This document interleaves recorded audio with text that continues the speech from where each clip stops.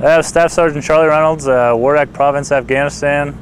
Uh, just uh, happy holidays, everybody back home in uh, Peterborough, New Hampshire, and uh, be home soon.